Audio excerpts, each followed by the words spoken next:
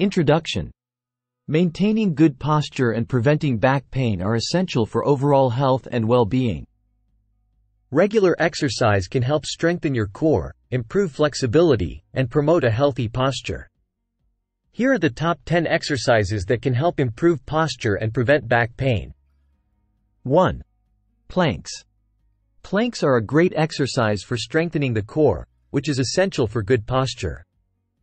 They also work the shoulders and back, promoting a strong and upright posture. 2. Bridge.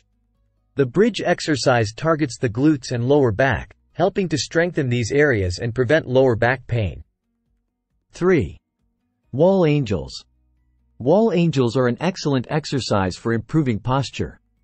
They work the muscles in the upper back and shoulders, helping to correct rounded shoulders and promote an upright posture. 4. Cat-cow stretch.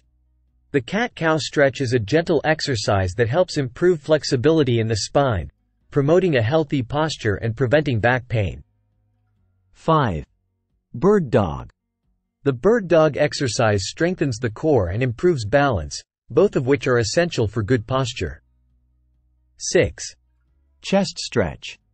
A chest stretch can help correct rounded shoulders by stretching the chest muscles and promoting an upright posture. 7. Superman. The Superman exercise targets the lower back, helping to strengthen this area and prevent back pain. 8. Seated twist.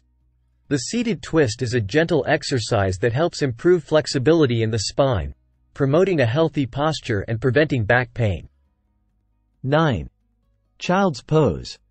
Child's pose is a restorative yoga pose that stretches the lower back, promoting flexibility and relieving tension in this area.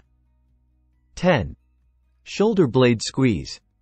The shoulder blade squeeze is an excellent exercise for improving posture. It works the muscles in the upper back and shoulders, helping to correct rounded shoulders and promote an upright posture.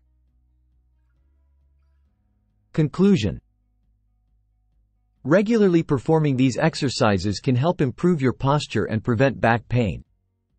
Remember, it's important to maintain proper form during these exercises to avoid injury. If you're new to exercise or have any health concerns, it's always a good idea to consult with a healthcare professional before starting a new exercise routine.